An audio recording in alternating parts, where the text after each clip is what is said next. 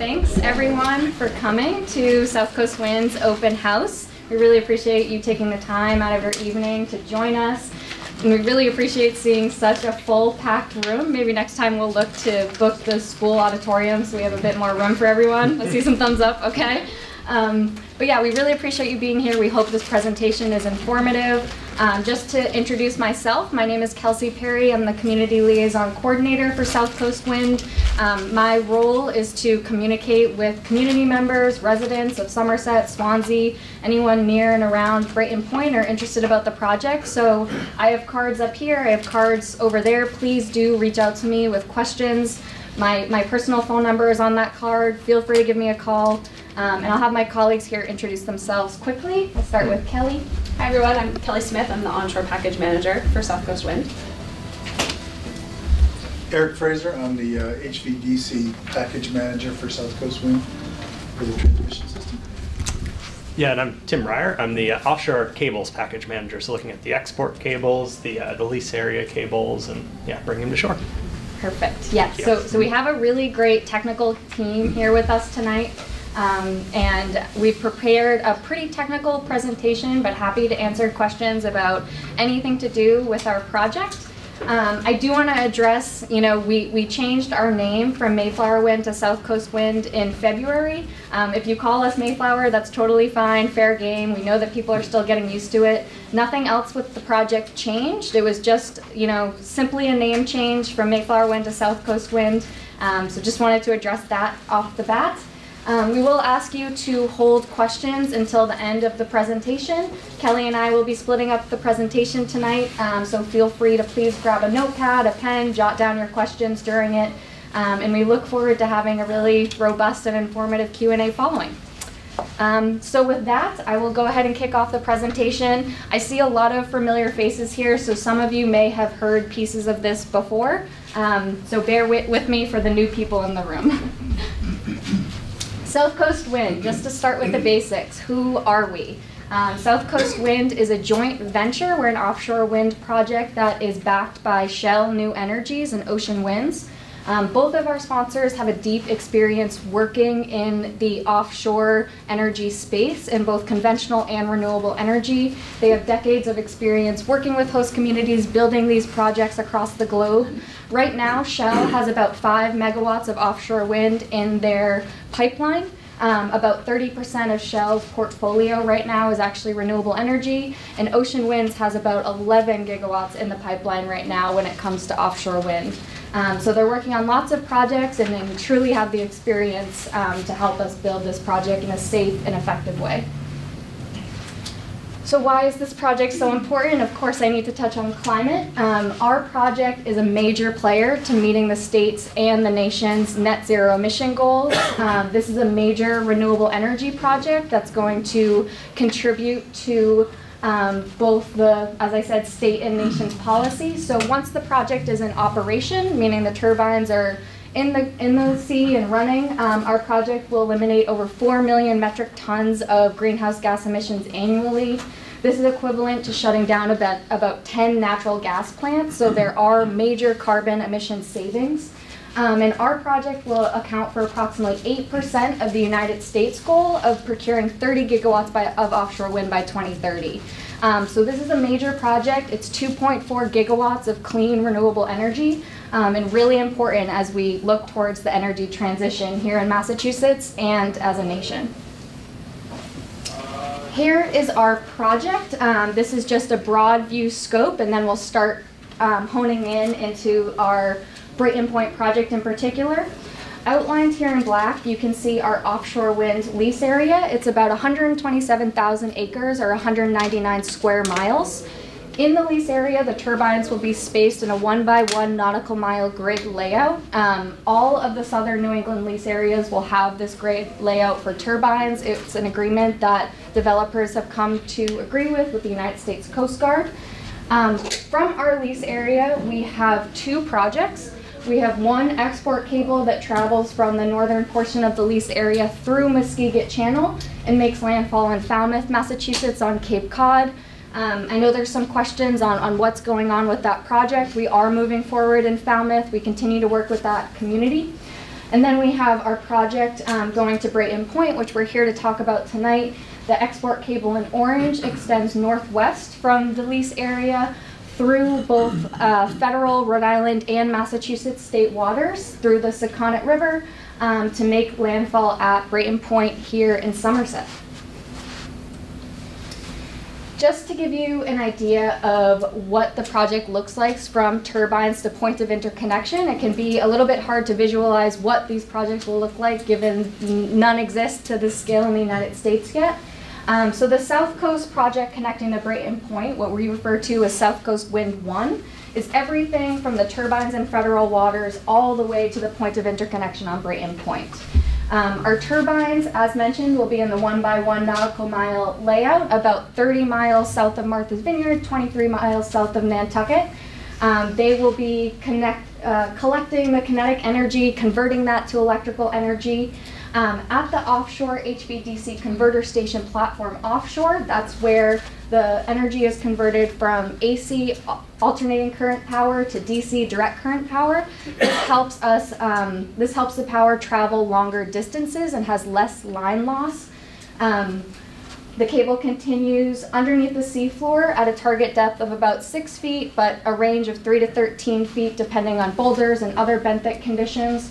We do have a brief intermediate crossing over Portsmouth, Rhode Island to be able to get to Brayton Point. Um, that crossing through Portsmouth is about two miles and we haven't landed on the exact route through town yet.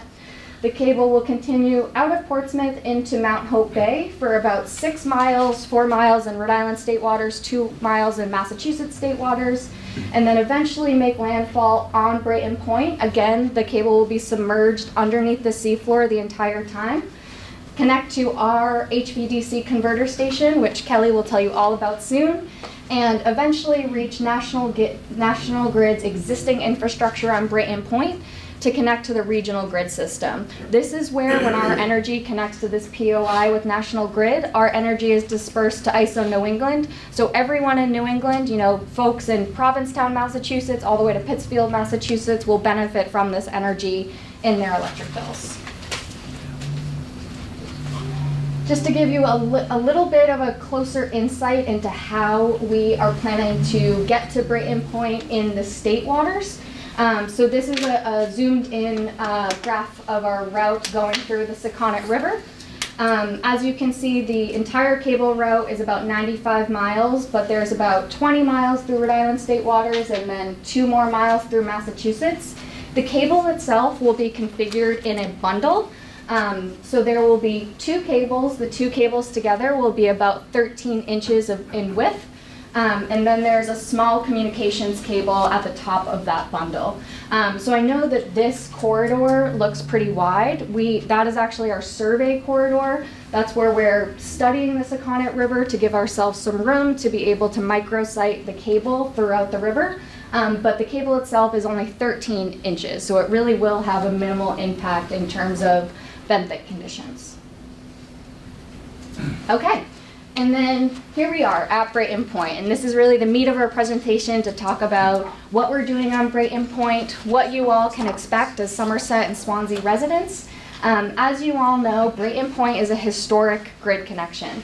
Um, there is infrastructure there highlighted right here that National Grid already exists um, that is ready for offshore wind with a few upgrades to be able to take our project um, it, it, really is an ideal site for to connect for offshore wind from a technical perspective, um, but also for uh, you know a story. It's really exciting to be able to talk about the coal to wind transition and really position Somerset as a leader in the nation as a town that, that that's embracing this really really important change for our future. Um, so with that, I'm going to hand it over to my colleague Kelly, who is going to get all technical about the Brayton Point stuff, um, and I'll come back in at the end. So over to you, Kelly. Thanks, Kelsey. So some of you probably saw the image as you walked in today. We have it on one of our posters out front. But this map really shows an overview of everything we're proposing to build at Brayton Point. I'll talk through the components and then we'll get into some of the construction and operations details.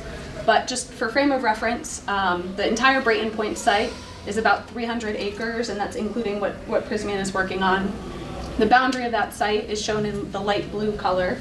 And our area that we're looking to use for our converter station is that yellow 10 acre parcel in the middle of the site.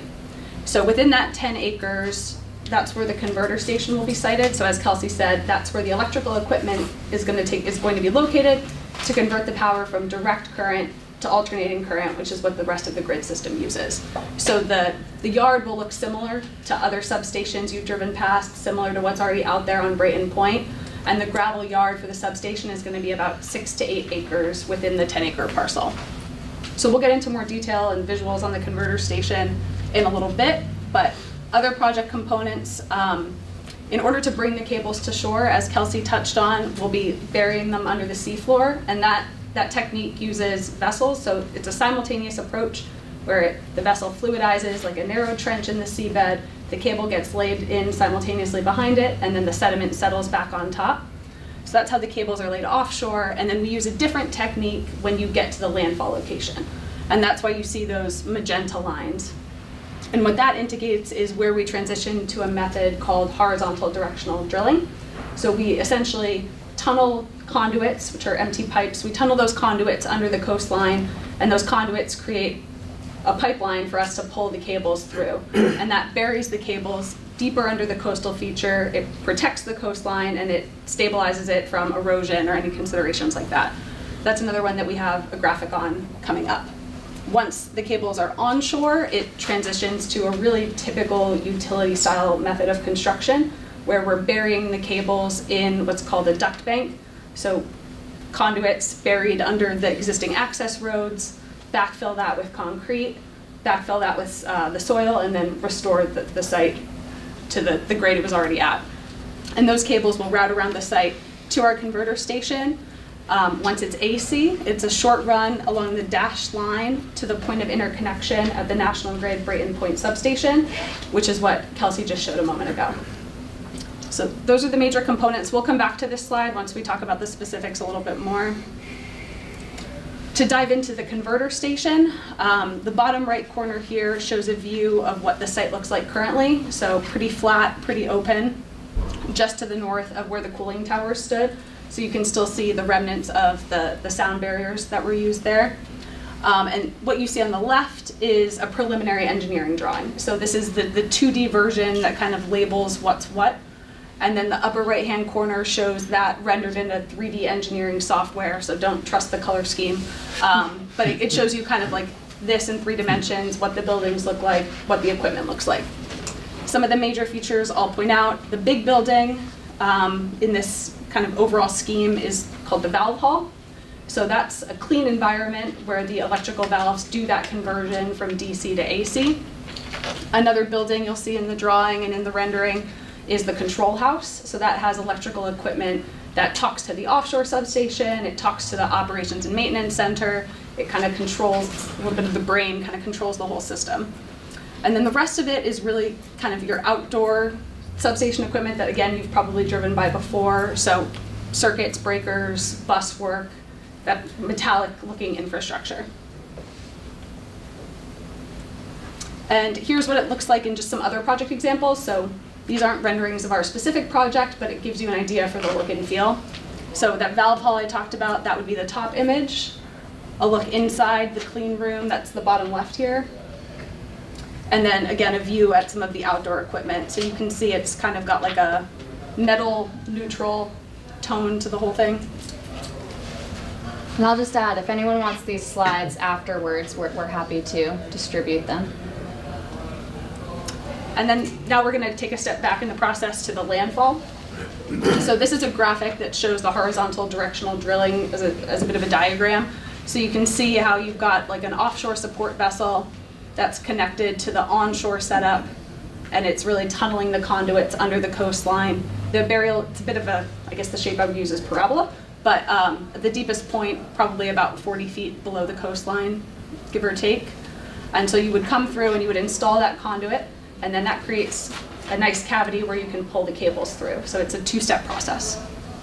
Um, I guess one other thing I'll note here, it, we choose this method, um, well, one of the major methods in select, or one of the important considerations in selecting a landfall location is looking for site that are sites that are previously disturbed, um, have a little bit more isolation and separation for the construction process. That's what makes, another thing that makes Brayton Point a good site for this project.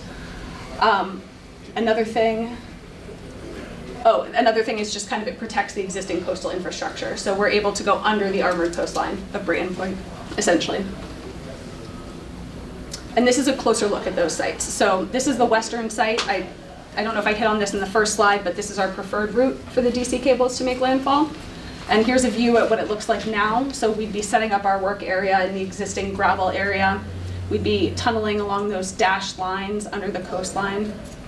And then inland of that, you've got your traditional utility style installation. So what you're seeing in blue is an indication of where the duct bank would be located.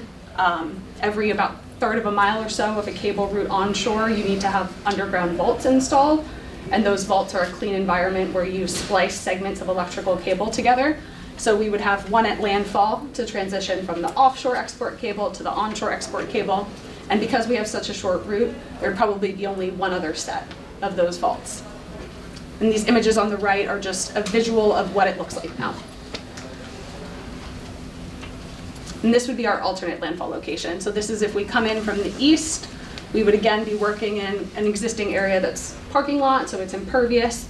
That would be the setup area, and then we'd be drilling the HDDs offshore to the east and then arcing the route down and around the shipping channel.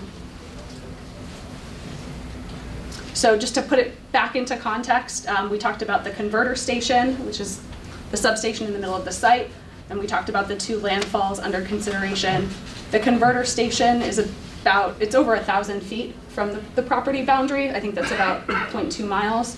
So this is nice and protected within the industrial site. And another great feature for this site is the existing grassy berm that runs along the east side. So it provides really good visual screening for the facility. It provides noise mitigation, um, and it also is going to control some of that construction-related dust and provide a little separation from the equipment as it's doing its work. So to hit on construction in a little bit more detail, the timeline for the onshore construction activities is going to be about two to three years. Um, and that's going to go in phases, so not everything's going to be going full speed all the time. You're going to have some time up front to do the civil activities, to do the excavations, to lay the equipment, and then you'll come back and you'll have some more time to do the installation of the electrical equipment. And then at the tail end, it's, it's fewer people doing the testing and commissioning, making sure all the electronics are doing what they need to do, and it's communicating with the grid. The horizontal directional drilling activities, that's a shorter window within that time frame. That's going to be on the order of two to four months. Part of that's going to be yeah, the installing of the conduit, and then a later phase for, for pulling up the cables. We have, um, there's topics that with construction you're obviously going to get questions about, so we have studied traffic as it relates to the construction activities. Um, overall, we looked at the carrying capacity of, of Brayton Point Road. We estimated the phasing of the different activities and, and what that would look like. And our estimations are that the increase in construction-related traffic is going to be about 7.5% over what that road sees currently. Um, during construction, we will comply with all the applicable construction noise regulations. We'll be in close coordination with the town, um, talking about the various activities. There are, in general, the plan is to work during the normal construction windows, which I think according to the, the website is 7 a.m., 7 p.m. It might be a little bit longer according to the local noise ordinance. But for certain activities, we'll have to work with the town to allow those to occur for a longer duration. There's some things that once you start, you, you can't stop for safety reasons, or you'd have to do rework and do the whole operation again. An example of that would be some of the HDD activities. So once you start tunneling the borehole, you need to maintain like a constant pressure to keep the borehole open, and that really needs to run continuously until you have that established. Otherwise, you run the risk that you have to start all over a little ways offset from your original intended trajectory.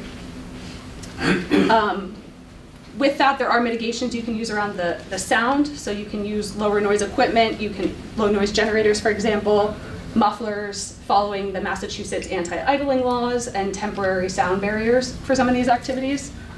Um, and during all of this, as we get more specific and know more about our phasing and when particular activities would need to occur, there will be a project-specific website and, a, and a, a clear kind of communication protocol for keeping everyone up to date. So that was a lot of words, yes. So here's some images of what these things look like in practice. On the left are some images of horizontal directional drilling. On the top, that's a, a typical drill rig. On the bottom, this is kind of what it looks like as it begins to tunnel under the ground. And then on the right, this would be more of an example of the route once we're already onshore. So you've got the vaults, what that looks like. That's a precast concrete structure that you would bring in and you would lower it into the hole and then backfill. And you've got your access locations flush with the existing ground. And then you can also see on the right what it looks like to lay the conduits and pour the concrete on top to create that duct bank that you later pull the cables through. Um, and then in terms of operations, so Kelsey has a good visual on the next slide that, that she'll show you folks um, that shows what this looks like from key vantage points in the nearby community. Um, you won't see much, spoiler alert, sorry to steal your thunder. Um, Traffic-wise, this is going to be an unmanned converter station, so there won't be a daily traffic. It'll be occasional maintenance of a two-person crew in a van, not something you would really notice. Um, and air emissions are also not a consideration for operations of the converter station. Um, we have looked at, one of the studies that we conducted for our initial permit filing is looking at electric and magnetic fields. So that study is available on our website. EMFs, even if you're on the site right on top of the cables, we modeled it, it's well below health-based limits and fields drop off very rapidly with distance, so it's not a consideration for off the site. Um, so again, that full study is on the website. And then I did just want to emphasize as well, Kelsey hit it earlier, that our sponsors, safety is really a priority. It's a priority for everyone on the team. And so we will be following best management practices during the duration of construction and operation to make sure this facility does what it needs to do and, and keeps operating safely for a long time. Kelly, I will step back in here. So as Kelly queued up, um, we have completed visual impact simulations for both um, folks who live on the Taunton side and folks who live on Lee River. Um, so this is for um, uh, from a key observation point from Brayton Point Beach. Um, I know that when you look at the current view and the simulated view, you can't see much, and that's because of that berm um, that Kelly was talking about. So there's a really nice vegetation around the Brayton Point site that, that really blocks the view from the converter station.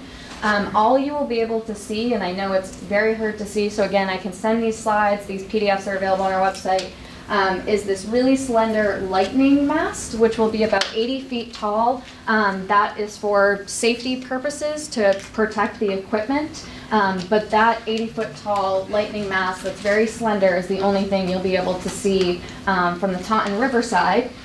And then for Swansea folks, if there's any of you here in the room, um, this is the view from South Swansea. Um, so again, you really can't see anything. The view's actually blocked a little bit more from the Swansea side, but again, you can sort of see the lightning mast right where that arrow's pointing. We took um, these visual impact simulations from seven key observation points, and these were taken in January. Um, so we do anticipate that these visuals would get even better during the spring and summer season when the vegetation was in full bloom. Um, so visual impacts is um, not too bad, we hope. So permitting, I wanted to give you all a quick update on where we are in our permitting process. We really appreciate you all who have been involved in our permitting process so far. Um, so we have, you know, made some headway through our permitting timeline. I will talk about the federal permitting process first. Um, so the main piece of the federal permitting process is our construction operations plan, which is available on our website and was submitted in February of 2021. Later that year, BOEM, the Bureau of Ocean Energy Management, who is really the main regulatory body for these uh, at the federal level for these projects, um, announced that they were going to prepare our environmental impact statement. Um, in February of this year, BOEM released our draft environmental impact statement that's available on BOEM's website. I'm happy to point, it, point you to it. Disclosure, it's 1,600 pages, so it's a bit of a beast of a document, but it has some really great information in there.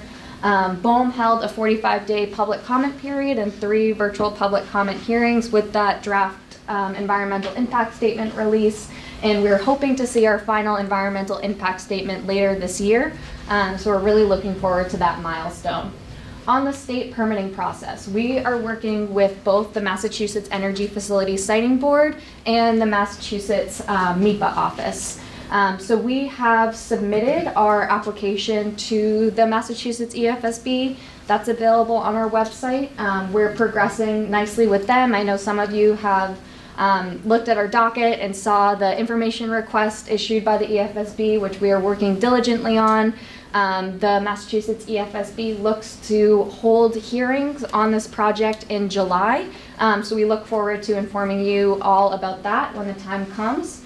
Regarding MEPA, um, our most recent filing with that was our draft environmental impact report, which is available on our website. Um, with that filing is the traffic analysis report that Kelly mentioned. Again, happy to point you to any of these documents. That most of them are all publicly available. Um, and of course, as we need local approvals, um, we, we plan to work with the town on any local approvals. We haven't gotten to the point of um, that quite yet, but, but we look forward to continuing to working with lots of town officials. Just a quick overview of the studies and assessments. Um, of course, you know, for both projects, we need 60 permits from federal, state, and local agencies, so it's really quite a big permitting lift. Um, the, this is a really quick snapshot of some of the surveys that we've completed. Some that might be of interest that we've mentioned for this crowd is our traffic study, electric and magnetic fields, fisheries studies. Um, again, a lot of these are available. A quick fun update on, on what's going on right now in terms of survey work. Um, just last week, we launched a geotechnical campaign in our offshore lease area. Um, the Fugro Explorer vessel, Fugro is a globally um, known company that, that's helping us with the survey work. Um, their vessel will be out in our lease area for about three months to conduct geotechnical uh, site investigations for our turbine foundations. Um, so this survey work will help us have a better understanding of the seabed conditions um, and continue to help us advance our project engineering.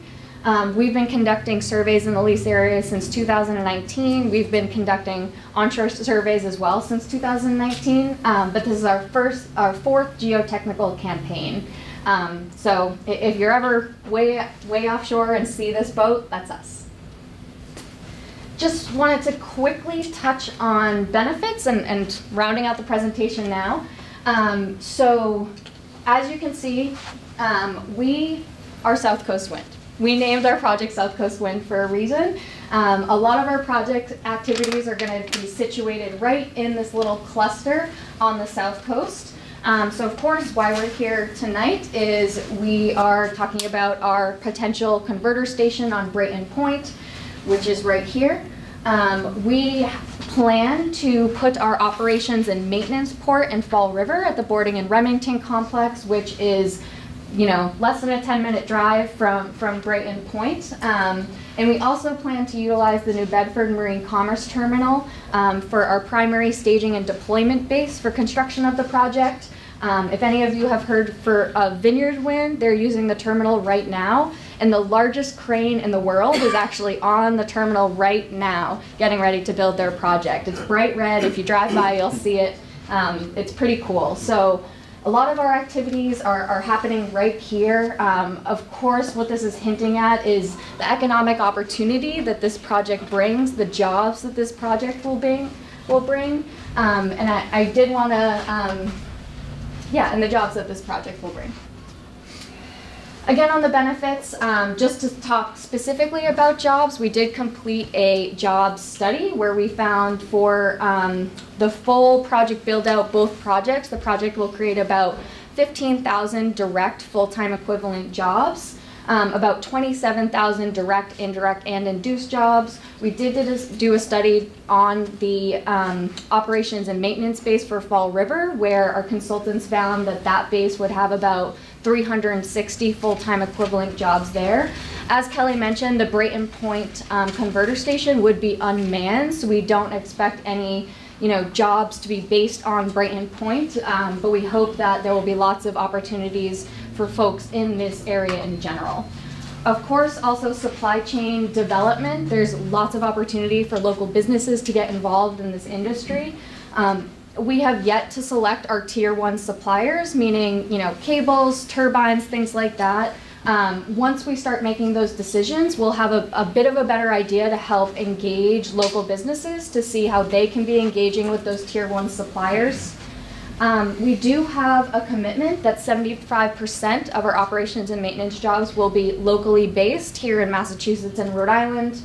Um, and South Coast Wind has invested over $115 million in initiatives to help ensure that Massachusetts and the South Coast region in particular are you know, really ready to be a hub for offshore wind. We've committed in workforce development initiatives, research and innovation, um, low income ratepayer support, diversity, equity, inclusion initiatives. Um, we're really trying to stand up the industry so that when construction starts in a few years, the local benefits will flow to the benefit of this community and, and, the, and the communities that we're impacting. Um, so lots of benefits to come from this project, both from an environmental standpoint and an economic standpoint.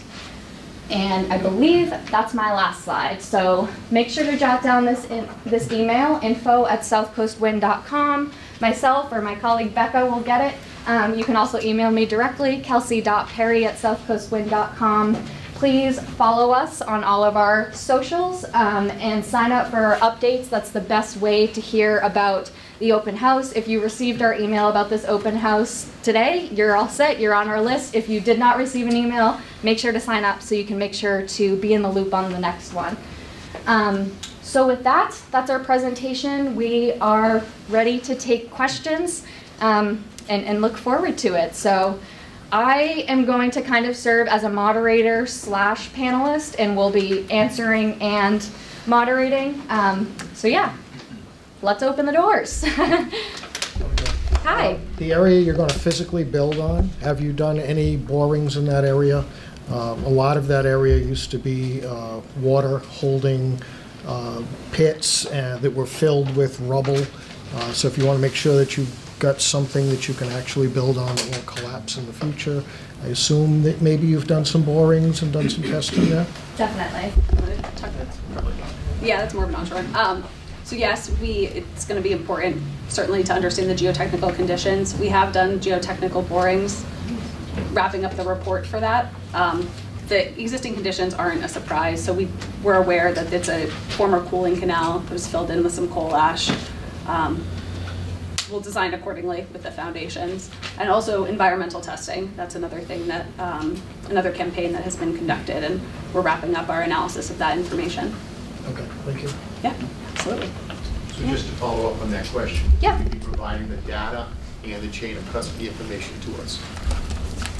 Um, I guess I'll take that one internally and, and see, see how we, we move it forward. It's certainly something that we'll study and incorporate into our design. Is that a particular concern? Yes. Okay. Make sure the data is collected properly, is transported properly, and analyzed properly. Yep. Yeah, we, we can definitely, um, we don't have our permitting colleagues here with us, but we, we can take that one back internally to check on that particular data to make sure. Thank We- you. We do, I, I will just note that we do work with some, some really good contractors on all of these efforts. Um, GZA Geoenvironmental has been instrumental in our onshore survey campaign, and they do really quality work in the region. Yeah, Our concern is also related to Prysmian. You guys cited in your appendix M that you were relying on Prysmian's work on some of this. And our concern is that their data was not collected properly, and they are unwilling to release the data to us because of a contractual relationship with um, BP. Okay? Understood. I think that's more of an, an offshore survey. Do I have that right? No, I No, that's onshore as well? Okay. onshore. We can take a look at, um, what you wrote up and we'll, we'll follow up on that one. Anyone else? So um, how many megawatts are planned to tie in at Brayton Point? Is it 1,200 or 2,400? It, do you want to take that? It- For this project, it's twelve hundred megawatts that we're planning.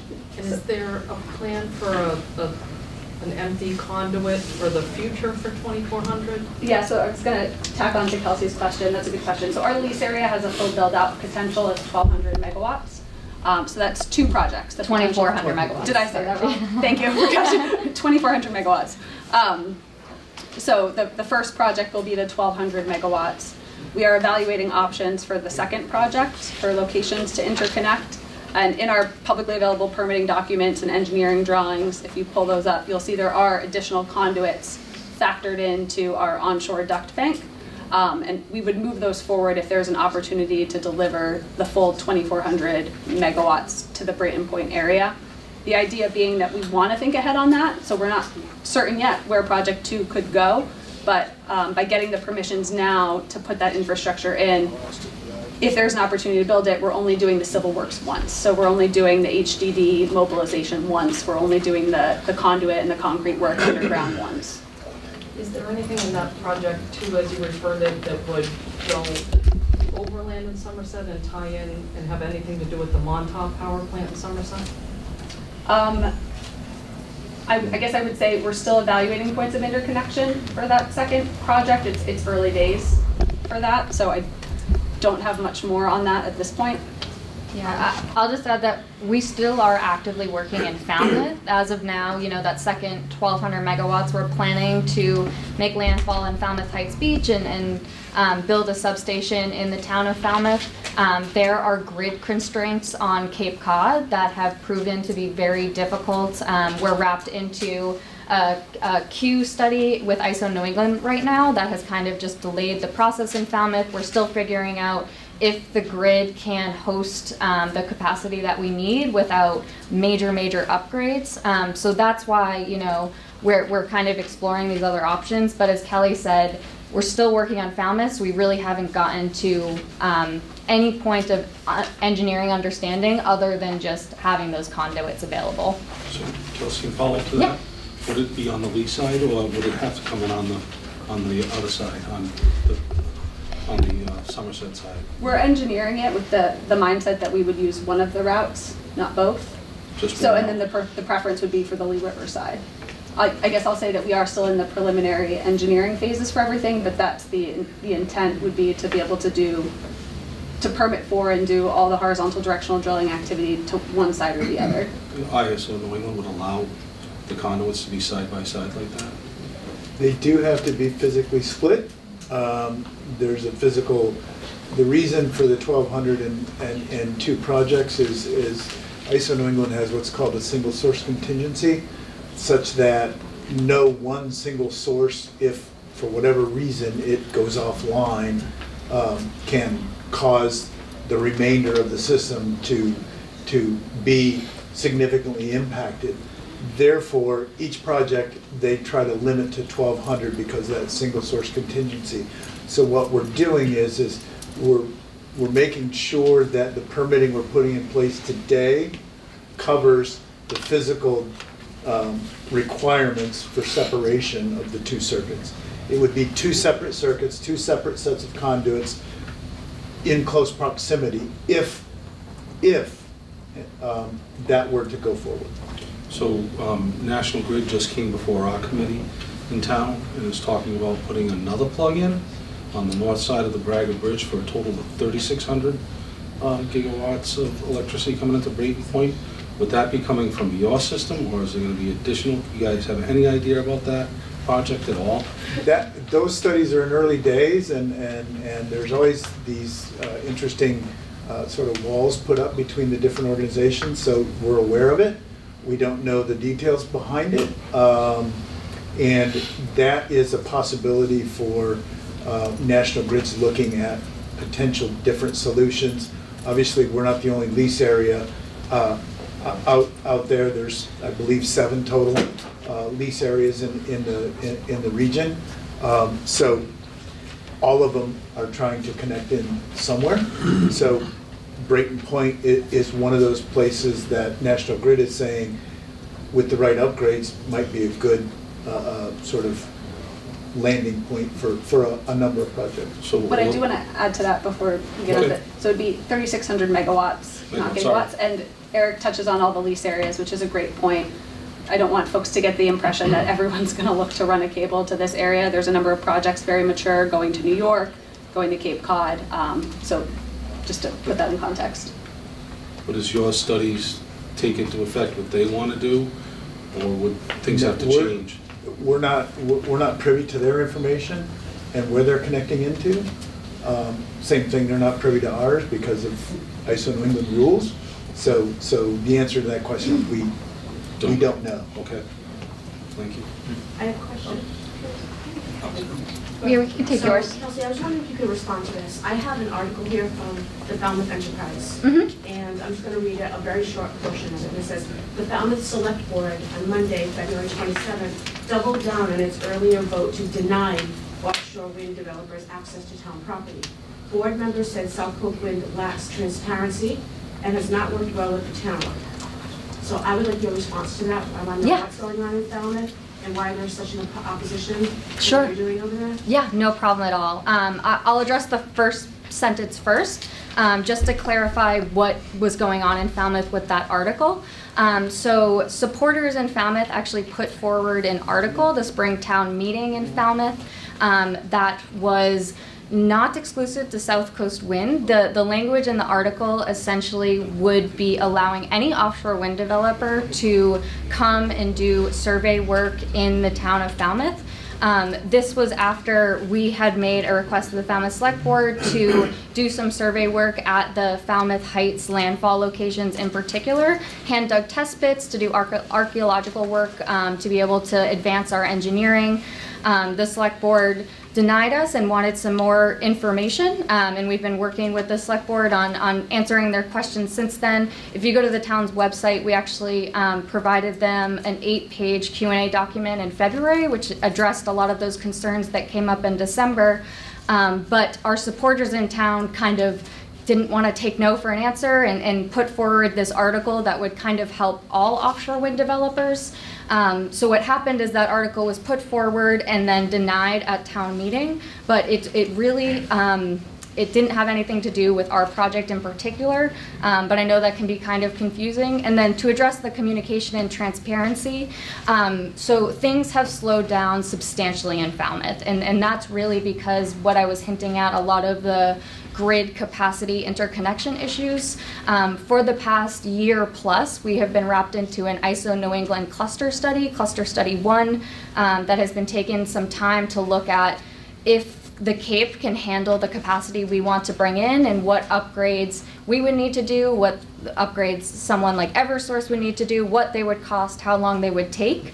Um, our queue position was actually pushed out of that study, and now we're part of a second study, so we're still waiting on those results. As we're waiting on those results, we have paused um, our EFSB process. As you know, we're moving forward with the EFSB for this Brayton Point project, but as we kind of figure out those external factors in Falmouth, that is on pause. Um, so there was definitely a gap in communications between South Coast Wind and the community as that was happening. Um, we've had conversations with community members in the town since then just to give them updates. Um, but I think, you know, looking back, we, we could have done a better job of just saying, hey, we're taking a pause rather than just doing the pause. Um, so, so I hope that helps kind of explain the situation, but I'm happy to talk offline So as well. I follow the stuff pretty closely. Yeah. We joined all their social media pages and we communicate regularly. Yep. And that does answer some of it, but what if Falmouth denies it entirely? What is your plan B? Is it Montaup? Is it Riverside? So we honestly we have not gotten quite that far yet. I mean, it clearly through our permitting applications for the Brayton Point project, um, alternatives are being thought about as the the grid issues on the Cape, you know, continue to drag on. Um, so we're, we're we're thinking, you know, very early stages loosely about alternatives, but right now, you know. Falmouth Heights is still our preferred. We, we still want to land in Falmouth. We've put in almost four years of, of work into the community. Um, so we're still planning to, but um, we are not, uh, you know, we're very aware of all the challenges that are going on there and, and the big hurdles that we're going to have to get through to make that work for sure. But as of now, that's our plan. Um, and, you know, our team can only think about so many things at one time. So right now it's Falmouth, this Brayton Point project, and, and, and we'll see what happens as the grid capacity issues kind of shake out this year. You're welcome, yeah, and I'm happy to talk about that further. Yeah. Um, You mentioned uh, construction time. Uh, Is there going to be a overlap that you know of between Prysmian's construction time and your construction time? Thanks, yeah, Kelly, do you want Yeah, take that one? there is the potential for some overlap. I think both projects are I mean, I shouldn't speak for, for their level of design, but both projects are still kind of figuring out exactly when certain activities would be phased. Um, I believe from the last materials I've read, I don't want to misquote, I think that there's some elements they're looking to start in 2024, 2025 timeframe. We would also be looking to start construction in 2025. So there is, we are coordinating, but there's more work to come on that, and we'll really have to get more specific in the free, in the timing and the phasing before we can work out specific mitigations and what it's all going to look like. Not not to beat a dead horse that might be riding through Falmouth, but if, um, if Falmouth fi- was off the table right now without any changes to the Brayton Point project, is it economically viable for you to move forward with just Brayton Point? Um, is it economic? Well, would Yeah. would your company say this is still Yes. at so- the present definition? Definitely. Um, so right now, the two projects are not um, going to be built simultaneously. They are going to be built in phases. So either way, um, project one, South Coast Wind One, we do anticipate going through that project first, meaning we would build out half of the lease area. We would be working on building our export cable um, and building out the second half of the lease area. The more southern portion would happen afterwards. So we are planning kind of for that staged approach regardless. So um, if there's changes to project two, eh, you know, that's okay. We're, we're sort of planning for different timelines and um, our economics are accounting for that. Yeah. Yes. You you mentioned you did traffic studies. Yep. Did that take into account the Route 79 closure? The Route which- 79 closure. Yeah, the- in Fall River, which drastically alters, alters the pattern of traffic.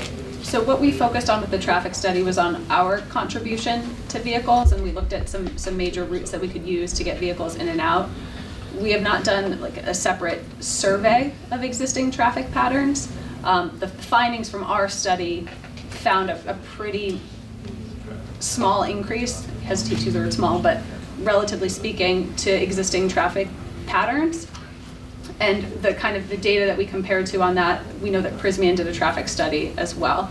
So I I suppose I'd have to probably dig back into the weeds of that study to maybe resolve that question fully and happy to take that offline.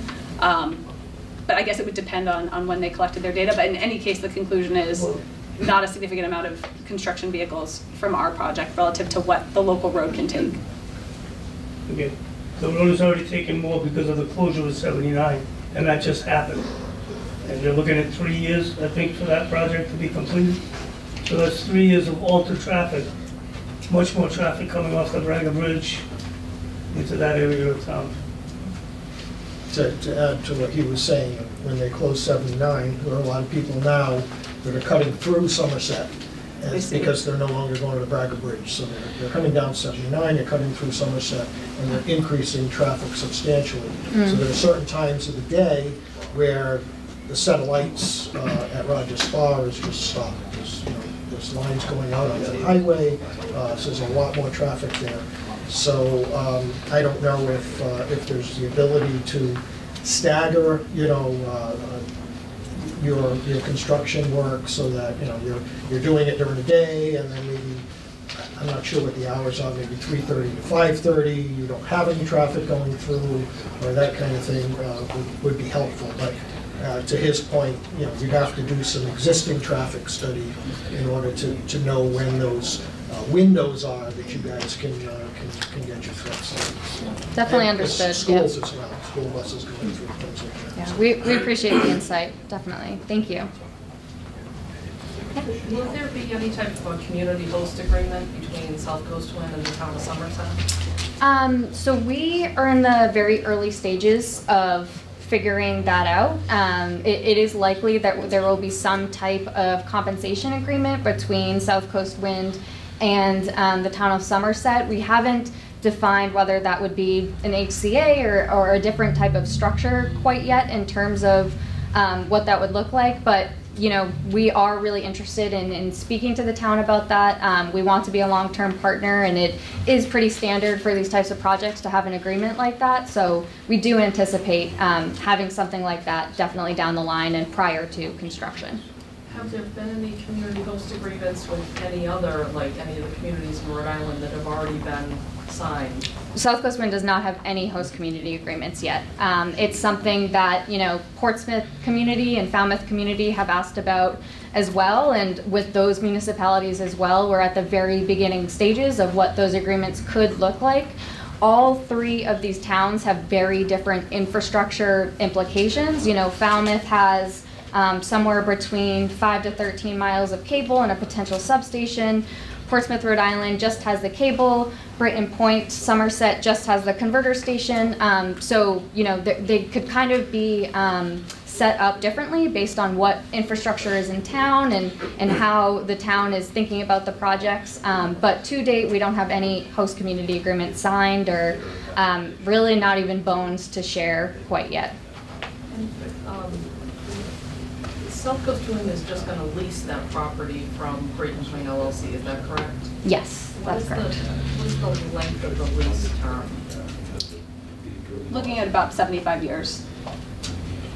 And since South Coast is gonna lease from Great and Plain LLC, South Coast won't be paying any taxes directly to the town of Somerset, correct? That's, I don't think that's. Yeah, that could be something that is defined within that type of compensation agreement. Like, uh, speaking about taxes and, um, you know, that's kind of all incorporated into that, and, and that's a big part of what needs to be defined, if there's a tax element or not. Um, so, so, you know, if there was no agreement, there wouldn't necessarily be, um, a direct tax impact. Um, there could be some smaller tax impacts regarding property values for having the asset on the site. Um, you know, we would have to look into current property values and do some analysis on that, so don't hold me to it. Um, but, but it is likely that, you know, Somerset could benefit through tax revenue for sure.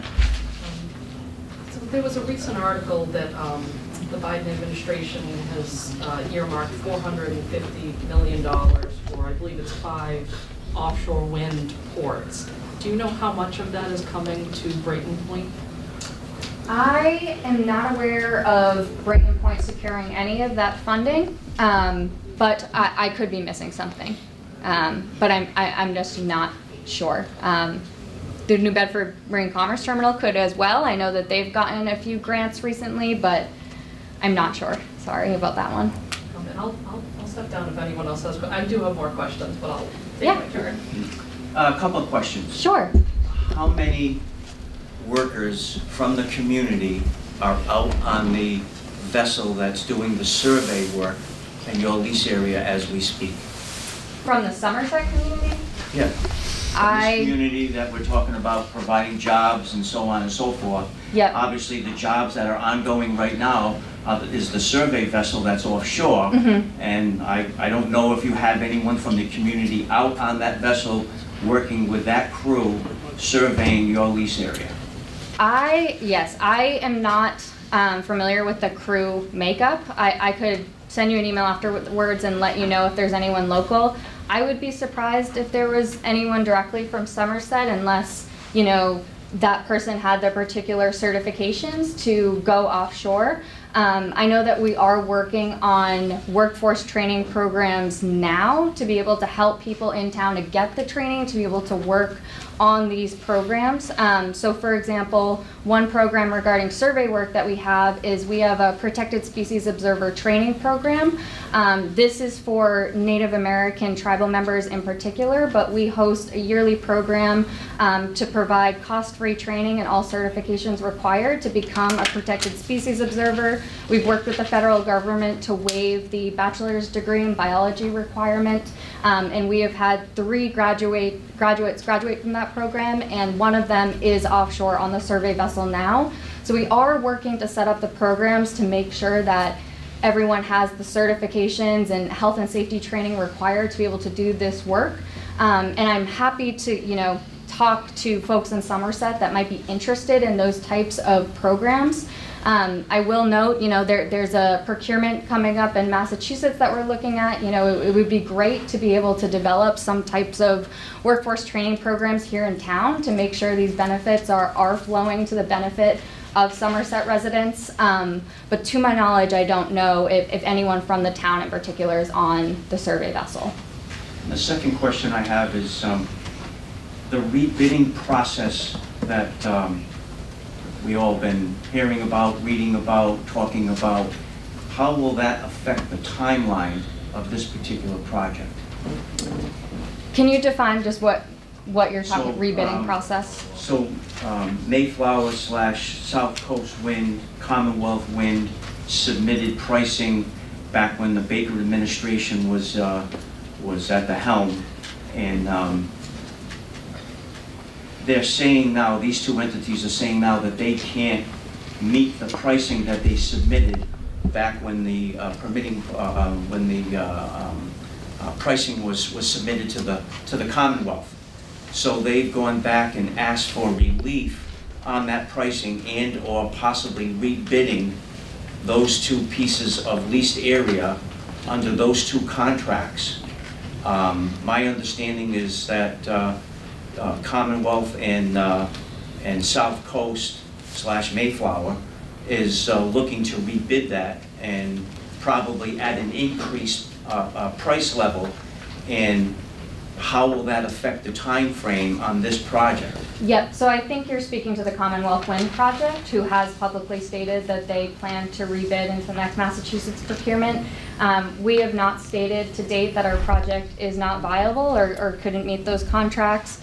Um, the global economic conditions that are causing headwinds in the industry impact every single offshore wind project. So we have made statements about that, that, you know, the war in Ukraine, the pandemic, all of these things are impacting the global supply chain, which makes the prices that we gave in 2019, you know, a different scenario now. But as of now, we- we, are committed to these power purchase agreements. So you're gonna hold to the pricing that you submitted two or three years ago? We're having conversations. Um, things could, you know, shake out differently, but we're looking to bring solutions to the table. On the subject of supply chain, um, obviously Prysmian is not going to be in a position to make this wire that you need. They're not going to be built yet. Um, Is another Prysmian facility making wire for you, or is, who is making this cable? Uh, That's number one. And then number two, the um, windmills themselves, are they all coming from one manufacturer, and are they already on order, or are they, is that coming later on? Sure. I can let Tim speak to our cables. Yeah, sure. And I I think as Kelsey mentioned before, so, so, so we're actively engaged with the, the supply chain. and Those would be sort of tier one suppliers, and we haven't selected tier one suppliers yet. Even though we're actively engaged with you know them across all the packages, we haven't selected them yet. Yeah. So For either, Well, for either For either the turbine or- or the cables, yeah. Yeah. we use the term package in-house, and that just means kind of the different work packages Yeah. and Mhm. collections of infrastructure. So cables would be a package, Cables, turbines, yeah. turbines, foundations, that's kind of our, our None lingo. of none of them are even on a work order yet. No, we haven't selected quite yet. We'll definitely, you, you'll see press releases and stuff like that once we announce, for sure. How quickly will you determine those uh, tier one packages? Um, prior to construction, of course, and, and then we would need some. Are we talking 12 months, are we talking 18 months? How- How, I mean, what what do you think ballpark your timeframe is? Yeah, it, it's difficult to give a timeline just because the negotiations with these suppliers can really be um, different. But I mean, right now, we're planning to, our, our very loose timeline, and of course, the permitting of these projects impacts the timeline too, but we're hoping to start construction um, at Brayton Point in 2025.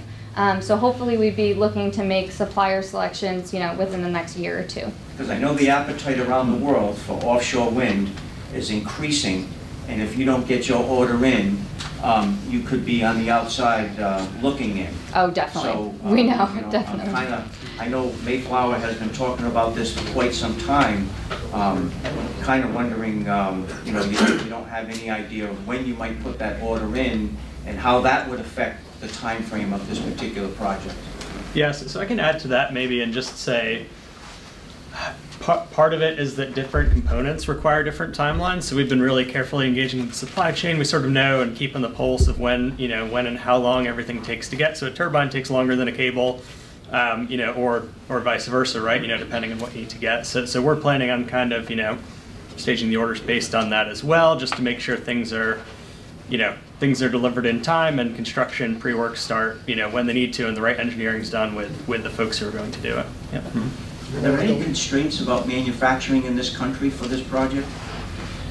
You know, like, does does the cable have to come from the United States, or does the turbines, or the blades, uh, foundations, any of that have to, you know, There's is there a no- percentage that has to come from the US on this project? There's no requirement in terms of what like the federal government puts out or anything like that. Um, we do prioritize local content.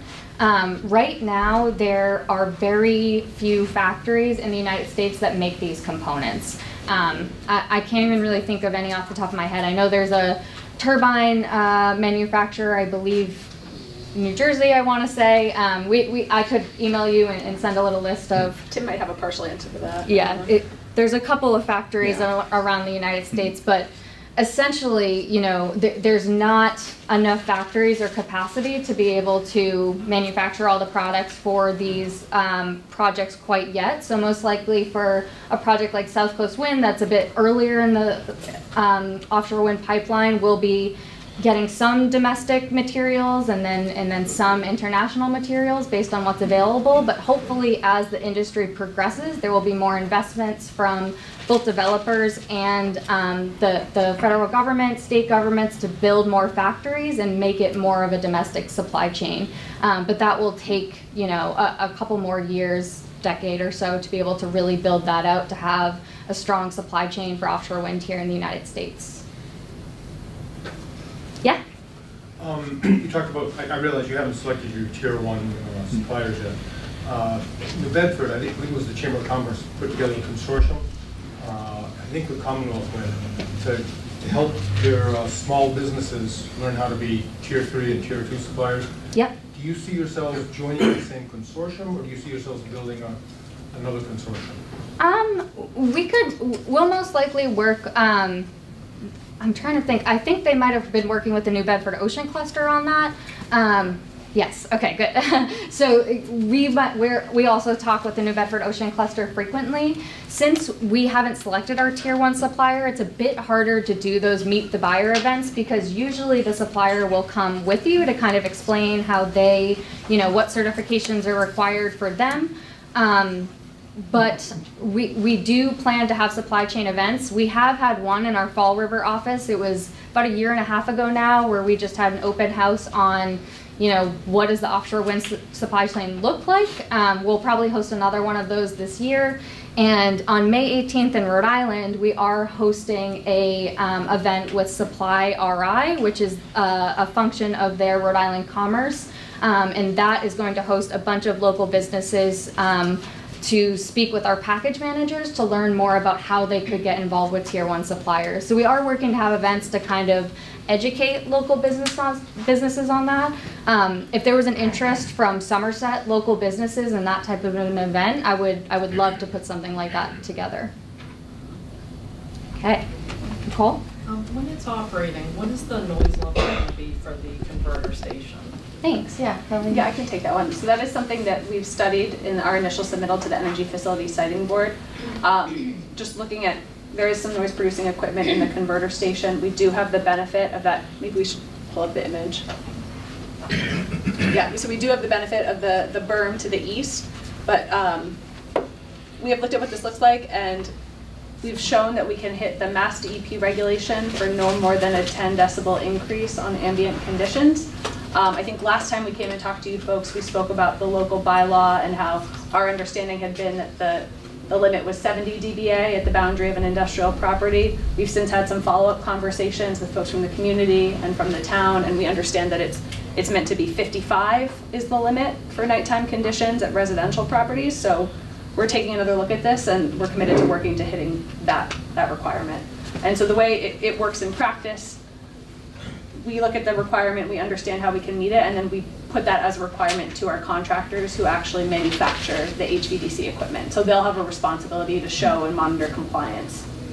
And then what is the, so when we talk about two to three years of construction period, what is the noise range going to be in that time frame? So if you're doing the HDD drilling and it has to continue and it's 10 o'clock at night, what is that going to be like to the surrounding neighbors? That is a good question. It's, it's not gonna be all the highest level of noise all the time. This is definitely gonna happen in stages. We do have a construction noise study that we did as well, specifically looking at the HDD locations, and that's another, another one that's on our website. They modeled it really conservatively and looked at kind of the loudest piece of equipment if you didn't mitigate.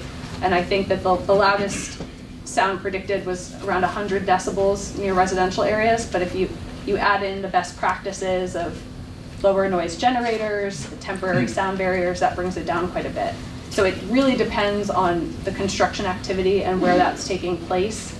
The HDD is, is probably one of the louder ones, and that's why we modeled it. And I'll just note, yeah, the HDDs of that two to three years would only take about two to four months. So, so, so we look specifically at, you know, which of these durations can we minimize so that, you know, the highest impact activities don't take the entire time. Yeah. And two to four months isn't at max sound levels Yeah, either. yeah, yeah, but that's the two to four whole duration of that activity, yeah. Mhm. Exactly. You have to understand, so when you, when you look at that, that depiction and you look at, to- look at the right, look at that close to 200 homes that are clustered and the winds coming up that are blowing the noise towards the neighborhood.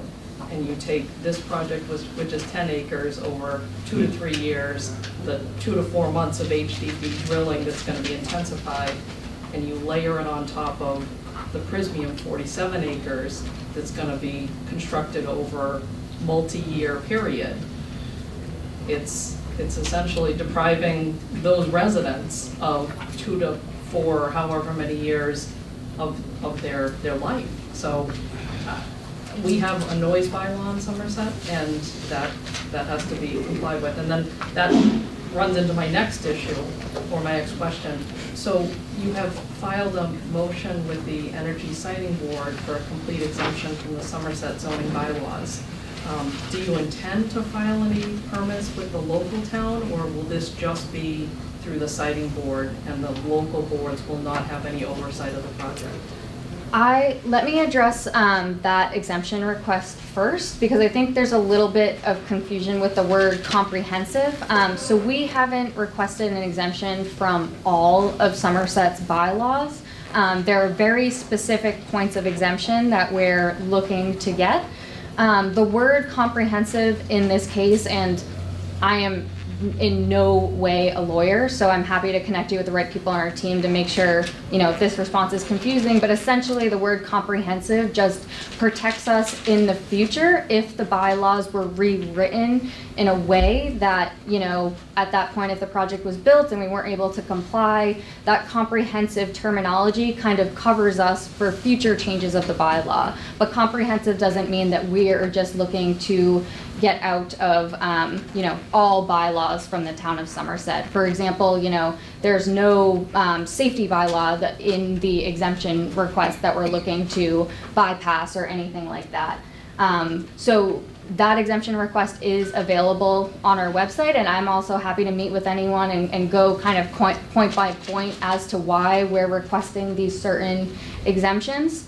Um, but as mentioned, you know, as an example, one of the exemptions in there is um, the noise exemption, which, you know, we, we have had conversations with the town and we're still trying to figure out exactly how the bylaw applies to our project and if we're able to meet it. Um, as Kelly said, you know, as we're, we're identifying how that noise bylaw applies to us, um, we're looking to see how we can comply. So, so it's not you know, I don't want people to think it's this blanket exemption that we're seeking. Um, there's really, you know, pretty specific reasons in there as to why we're seeking exemptions for the particular points because our project just doesn't quite fit in um, to those bylaws. In terms of going for um, any local approvals, right now, um, I don't have any scheduled, you know, we need to seek this approval from zoning and planning or the Concom or anything right now. We will need to seek definitely some local approvals down the line when it comes to street opening permits, um, uh, smaller things like that. And in the future, we could come before the, the planning and zoning board. Um, we're just not quite sure yet. Um, I'll give so- an an example of a local one would be working with the building inspector when we get to the, the stage of putting those facilities up. Yeah. But- But Somerset has a a plan development process through the planning and zoning board, so my understanding, you're not planning to do that.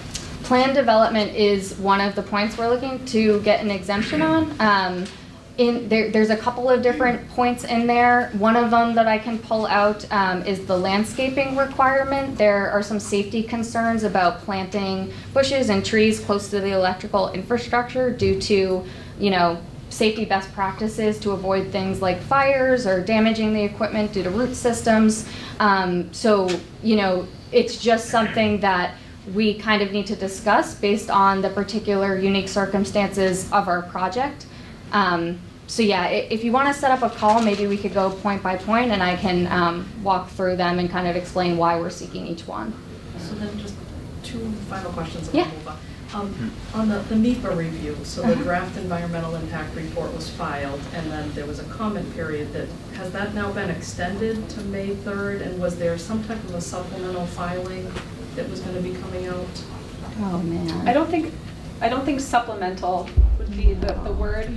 Um, I, I'm not an expert on that Yeah. process. We have a, a permitting lead who's Yeah. really on top of it. I don't think we're filing anything with MEPA. I don't think there's a supplement forthcoming. So there's the, we filed the environmental notification form, which kind of goes hand in hand with the filing to the Energy Facility Siting Board. The MEPA office reviews that. They issue um, a certificate with comments and questions. That forms the basis of the draft environmental impact report that we filed. Um, And just like, this is actually just like the Prysmian process. So then the next step is another certificate and we write a final environmental impact report. So we haven't received, because the comment period was extended, we haven't received the certificate that will form the basis of the next document that we submit. So, the- but the comment period was extended and I believe that you do have until May 3rd. Okay, so, so anyone that wants to submit comments to the MEPA office still has time to do that up until May 3rd? I believe so. I don't have Um, the date top of mind either, I know, may- unfortunately. yeah. Then- I can double check on the date just, just to make sure and, and follow up. Very last question, um, there has, and I'm not sure if you're aware of this, and if you're not, that's fine, but recently there have been, um, sort of an uptick of swans and Canadian geese that have been found dead on the shores of Somerset and Swansea. Hmm. Has any state or federal agency contacted South Coast Wind to inquire if any of the, the testing or any of the offshore work that's being done has any correlation to that? We would have to double check with permitting, just because the agencies communicate with those folks on our team. Um, I'm not aware of getting any type of notification about that to date, but let me double check with our, with our permitting folks, because, um, someone could have reached out to them. And Any, on, up- in terms of offshore survey, Yeah, there's been no we we recent haven't done any since, uh, since the fall of 2022 offshore surveys, so not, not, not too recently. The ones we've done recently have been sort of onshore surveys on Brayton Point, for example, inside the more industrial area, so. Or out in follow up the lease yeah, area. Out in the lease area, which is a, yeah, 90 miles away, but yeah. I, it Hi. it seems that um, conversations with the town have been a bit limited up to now about some of the issues that Cole was asking about. I was wondering if, if- have you contemplated a possible extension and adjustment of the deadlines in the EFSB proceeding? Uh, so- I ask that is, it would be helpful if you would have more information and develop that dialogue a little bit further with with the town directly before the town is then forced to go ahead and, you know, file pre-vote testimony all those. Definitely understood. Um, It seems like July is a really early date for that, for the stage it's in right now. so. Yep, definitely understood. Um, so we don't have any control over the procedural schedule, unfortunately. Um, that's fully in control of the Massachusetts EFSB, and we definitely realize it's an aggressive schedule. Um, you know, it, it's fast paced for us as well. In terms of communicating with the town, um, we have met with the town on several occasions, but um, we have not given a presentation to the select board since August of last year, so that is definitely something, um, if the select board members were interested in, in hosting us, we'd be happy to give a presentation to the community. Um, you know, we, we can look to do more, um, community events ahead of July as well. Um, and just to make it clear for town officials that are here, I mean, we're always happy to have, um, have a meeting, host you in our Fall River office, come to town hall. Um, but we are open to communications all the time, um, and I- I'm happy to kind of inquire to see if a select board appearance would be of interest before July.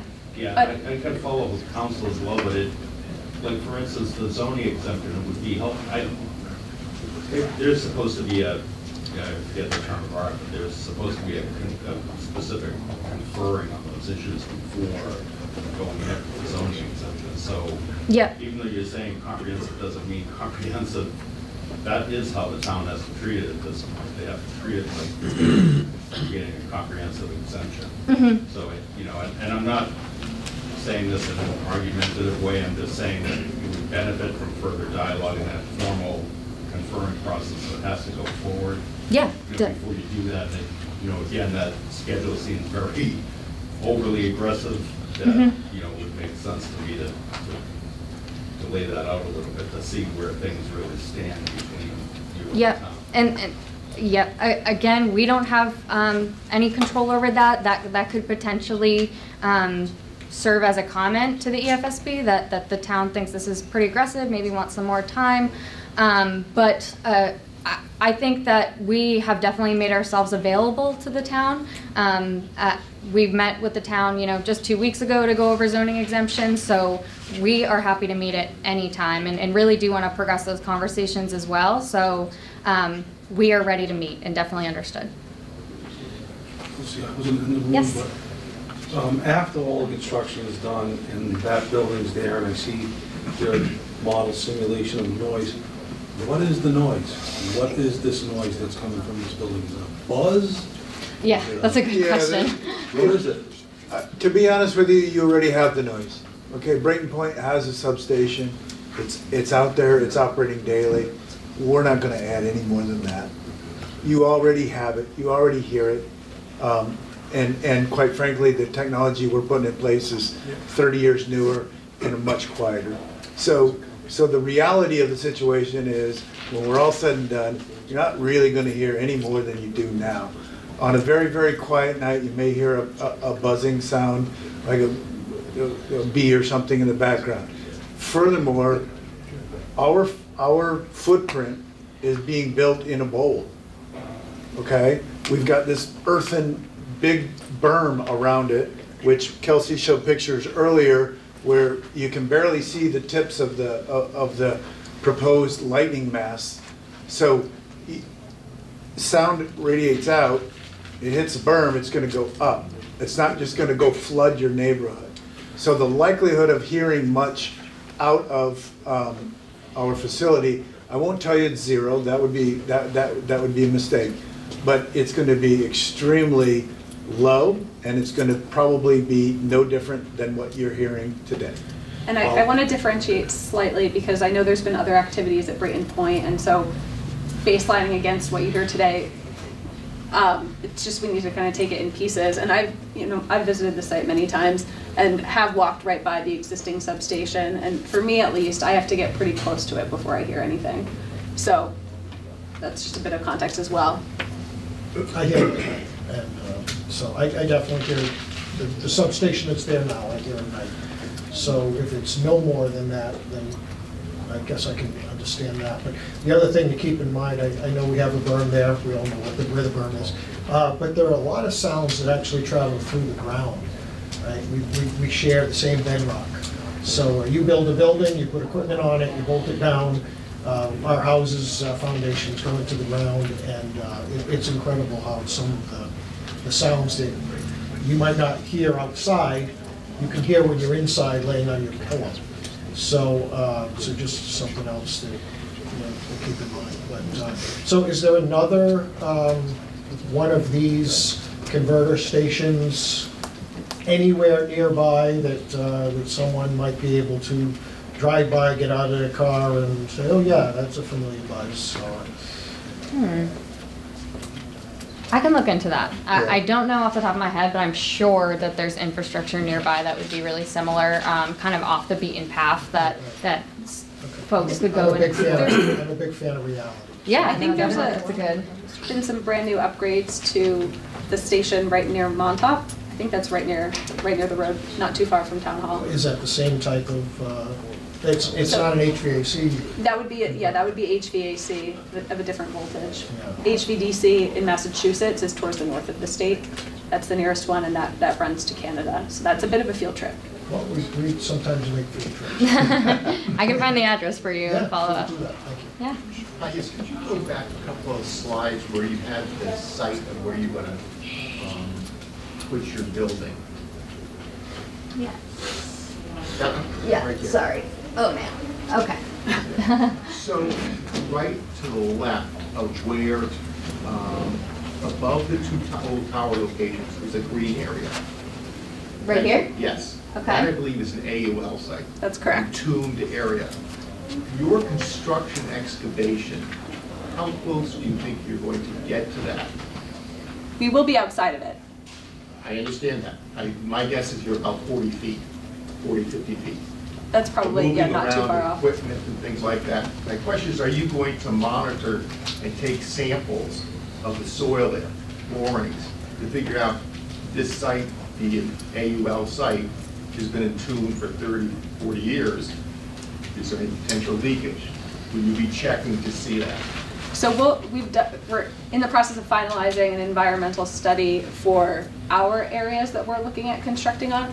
And the, the way the process will move forward, um, we expect that we'll work with the Department of Environmental Protection and that the, the kind of regulatory framework that's fit for our case is called a URAM, so U- Utility Related Abatement forget what the M stands for, apologies. Um, and that's kind of the framework under which we would have a soil management plan. And that soil management plan is going to dictate the best practices for how the material is handled, how worker safety takes place, um, and it's all based on what we find from the environmental studies. So we will be outside of the AUL, but we will also be complying with all those best practices to make sure everyone stays safe and the material is tracked appropriately. And that material that you excavate, I assume you're going to dump someplace? Our, our hope is to, or our intent rather, is to reuse as much as we, we can on Brayton Point. And because that's all part of the uh, implosion of the towers, a lot of that, we believe, may be contaminated, so we're gonna reuse that. We'll reuse what we can, um, and then obviously there's existing landfills on site as well. So that's, that's a little down the road of figuring out those logistics, but we'll follow the environmental regulations of the state, absolutely. Yeah. Yes? Uh, My question is about decommissioning and the timeframe and, and cost. I think we were all surprised how quickly the cooling towers didn't last. Um, So what is the timeframe for earliest decommissioning? Are license extensions allowed? Will For- the cables be left underground? Will the converter station be left? And finally, I read that there was a softening of the amount of capital you had to set aside for decommissioning. Is that, is that accurate? Or how much do you need to set aside? Sure, I, I can speak to um, the turbines themselves, the pro, the lease area, and maybe you can talk to the converter station. So for the lease area, um, we lease that swath of the ocean from BOEM, the Bureau of Ocean Energy Management. Technically, our lease with BOEM is 33 years, um, and at 33 years, there would be, you know, an opportunity to renew that lease.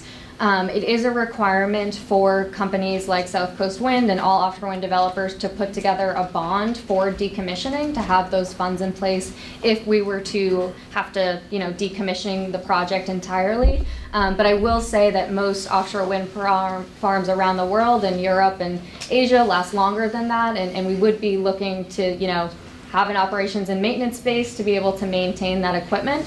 Um, but there is a, a strict plan in place if we did had to decommission the turbines. Um, but that lease is for, you know, that's a separate lease for the offshore wind lease area, and then I think it's a different situation for the converter station. Maybe I'll, s- I'll start the converter station answer, I bet Eric will chime in. But transmission infrastructure has a tendency to become a long-term asset. So for example, Brayton Point has not been operating for quite some time, and yet there's still um, a prime point of interconnection location. So that substation is still part of the regional network, it's still doing its job. Um, So in all likelihood, we talk about the, the lifespan of these things and we talk about decommissioning, but in all likelihood, the converter station would be a longer-term asset that's part of the transmission system. That's absolutely correct. And, and we would be looking to, to maintain it and, and extend the life of it, be it replacement of, of components or replacement of, of pieces of equipment to do exactly that. Um, to extend that, um, obviously, the longer we can extend, the more we can generate and the more we can benefit the, the, the community. Um, But certainly, there's always a time when, when the asset is no longer in use, and that would go back to the decommissioning bonds that, that we're required to have. Thanks. Is there someplace where we can see an exact list of the exemptions you're asking us for? Yes, definitely. Where So that? that, ooh, is that with our EFSB It's, application? it's in the zoning exemption petition, which is posted to our website with the EFSB. On the It's- South Coast Wind website? Yes, Correct. on our documents page, if you go to our documents page, click on state permitting, um, it's towards the bottom of the page and it, you'll see it says zoning exemptions. Um, if you can't find it, again, take my card and I'm happy to point you to any of those documents. And what I, just to follow up on that, so um, you seem to be relying heavily on that berm to mitigate noise in the neighborhood. And right now, they're still breaking up concrete where those two cooling towers were, and it's the same berm. Yet we hear it really loudly right now, just while they're smashing up concrete. So the fact that you said there will be 100 decibel, and I understand there's spikes, it's not a constant, but 100 decibel spikes um, is really frightening to have to relive that again for another two to three year construction period. So that berm is not going to help us. What are you going to do furthermore to mitigate the disruption to the neighborhood so that we can open our windows for the next two to three years while you're building? That berm is no help to us. If you go down there right now at any given lunchtime and listen to the concrete breaking up, it's ridiculous. It's bam, bam, bam, bam constantly. Yeah. It shakes our neighborhood. So the hundred decibel spikes is, is very concerning. Definitely What else will understand. we be doing to mitigate sound? Yeah. Yeah, do you want me to take that? Yes, so, so I think, as we mentioned, that the, what we expect to be the most noise emitting, uh, noise emitting activity is the HDD. Um, What is that? The horizontal directional drilling. Um, and the, you know, the benefit there is that it's in a relatively contained area, so we can erect sound walls around the construction area, which can directly mitigate sound. So it's almost kind of having the two barriers in place, right? So the first sound wall and then, you know, then the berm, which, you know, helps to mitigate the sound. And then, uh, you know, we can look at equipment muffling as well. So, so other mitigations that we can we can put on the equipment itself, plus the sound wall around the site itself. So, so there's kind of a few tiers of mitigations that we'll look into as we get further in construction That's why planning. we're trying We're, we're looking at everything we can do to comply with the noise bylaw. So we're in the process of reevaluating the model with our, the 55 dB. I have some preliminary results that look really good, and I think we're, we're not trying to bypass the noise bylaw. We're trying to understand how the we bylaw. can You're not asking for an exemption from the noise bylaw. We are to, So that, so you are. to, to cover. Confusing. It, it is confusing. It, it's definitely a legal kind of protection um, For aspect For you or for us? for For you. But it, it's a standard procedure that these projects go through. I mean, if you look at any other offshore wind project, they submit zoning exemptions for the municipality they're in. You can look at Vineyard Wind's um, exemptions with the town of Barnstable with the DPU. That was a very, or not the EFSB, which was a very similar situation. Um, but as Kelly said, you know, we put together that zoning exemption, um, we have to put it forward at that place in the permitting process with the EFSB. But we've continued to work with the town to see how we can reach these requirements and comply with some of these bylaws.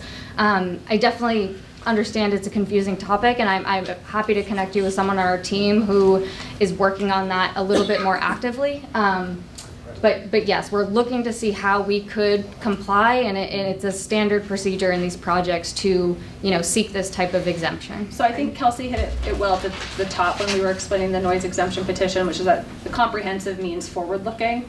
So that doesn't mean we won't study the project and commit to complying with the current bylaw. Um, it just is that the initial document we put forth, and now we're going through the process of having the conversation, having the Energy Facility Siting Board public comment and intervention process. That's all to collect feedback, and it all informs, you know, what we show next, how it gets better. It's not very reassuring, to be honest with you, being someone that lives within a couple of hundred yards from that facility, that we just went through this for two, three years, the construction, the noise, the metal, I know that has nothing to do with you, but to ask us to do it again is really upsetting. Like, I, I didn't know you were asking for an exemption from the noise bylaw, or possibly asking for an exemption from the noise bylaw. So that's gonna get a little bit of pushback from us, un- unfortunately. I hear you Um, And I know that we don't have control over it because you're going around it to get it, to get the exemption, going around the town to get the exemption.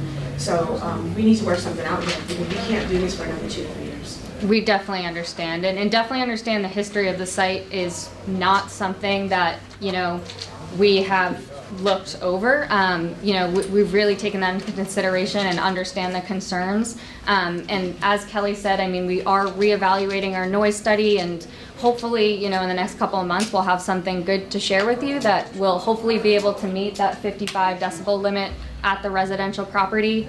Um, but yes, de- I definitely understand the concerns. Yep, yep. Uh, Has anybody studied the wind, wind direction and the effects of noise uh, as far as the wind is concerned? Because the wind directions down there change constantly, daily. Yeah. Um, Sometimes more than once a day, the wind directions change. Um, I understand you, you- you've done all these comprehensive tests for noise. Does that, do those tests take into consideration Prysmian's noise levels? I know you don't have to prove with Prysmian's noise levels that you're complying with the bylaw, but I think, you know, between your activity, News activity, Great Point LLC's activity, um, the noise levels, I mean, you may meet 55 decibels, but all three of you combined are not even gonna come close to meeting that. And then factor in wind direction, um, it's, it's brutal. Like, I I mean, I remember when the scrap metal was down there, um, I, I could hear it clear as day from my house, and I lived a mile and a half away, and she couldn't hear it at her house. She lives hundred yards away. Mhm. So it depended on the wind direction, uh, how it affected the noise levels. So are you taking into consideration everybody's activity when you put together your noise reports, or just your activity? Yep. Um, so in terms of the wind conditions, our noise studies, our ambient noise readings do include weather conditions as part of that assumption. Um, of course, you know, as you said, that the winds change constantly on Brayton Point. Um, so, you know, our ambient noise levels will say these are the weather conditions that happen that day, but other things could happen um, over the course of construction. Um, in regard to cumulative, Yeah, I mean, just touching on the wind just a little bit more. So that is mentioned in the, in the report that we submitted. Um, I understand that it's a factor. When we collected the ambient measurements, it was a quiet, it was intended to be a particularly quiet condition, so it was in the winter, no activities were taking place. But um, I hear you on that point, and it's probably something I'll have to go back to our, our modeler on, who's a bit more of the expert on this. Um, In, in terms of the cumulative impacts, we have studied our project components, so that's, that's a fair point as well. We have not considered the, the, I guess, that the projects that aren't part of our purview. It's over, it's past eight, so maybe we could take one more question and then anything we didn't get to, again, my business cards are up here. I'm happy to grab a coffee. Our office is about five minutes down the road on Main Street in Fall River. Um, answer via email, but happy to take one final question tonight if anyone wants to go for it. Oh, oh my gosh, there's two. What do we do? Flash round, flash, we'll do them quick. So, um, has the site ever been officially classified as a brownfield site? And then my next, part of that, the concern is the two to three year construction window. We know it's contaminated soil, you're gonna see that in boring samples. So will there be testing done to ensure that any contaminated particulate matter from that construction operation is not flowing either to Swansea or to Somerset? So what, what protections will we put in place so that the residents in the town can guarantee that we're not being doused with contaminated particulate matter? So we will be engaging with like a licensed site professional who, who does this for a living, who tracks the material and follows the best practices, and that'll all be part of the process with the Massachusetts Department of Environmental Protection and the soil management plan that we develop. I guess that's the, kind of the most detail I have at this stage on, on that point, but that would, the intent with that process and why it's so regulated is to control what moves where and to be able to track everything. Um, I know there was a part one to your question, but I might need to Is say it again. a brown? Is it, a- has it Oh. ever been classified as brownfields? I- I guess I, I, having looked at the definition from Mass DEP and EPA, it meets that definition. Um, and just in, in terms of the particulate matter, um, you know, we're all familiar with the licensed site plan professional when putting plans on paper. Um, What I'm looking for, and it's fine if you don't have that tonight, but an assurance that there will be actual testing, not only for the quantity of the particulate matter, but the contents of the particulate matter, um, and whether that's doing baseline testing in the neighborhood and then following the project as it goes through. Um, Two to three years is a long time, and the exposure for particulate matter, couple of days affects people's health long-term. So um, I'll I'll be raising that issue um, and following that issue closely, so I would encourage South Coast Wind to be doing the same.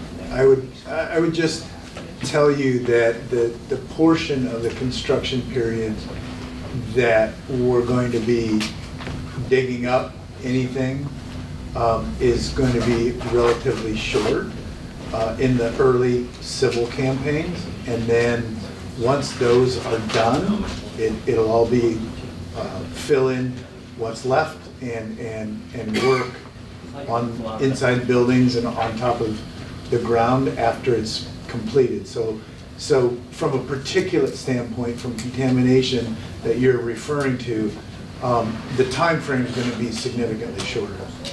Um, Probably less than six months. But nonetheless, to, to your point, um, you know, we can certainly take that, that, that first part of the question back. I think, and this is the point is that the ground is contaminated now, and we're worried what's flowing now. Then on top of that, as Nicole has suggested, after you start digging, what's that gonna bring up? And where is that gonna go? And is it gonna go to the areas after you've done your things, and you just have contaminated soil, which is gonna flow out? Understood. Would you Okay. volunteer, if we wanted to apply to DEP as citizens to have a public participation in the uh, excavation of that material through DEP, would you guys object to that? We tried it once with Brayton Point and they wouldn't allow it. Um, Would you voluntarily allow us to be in that process of following that soil?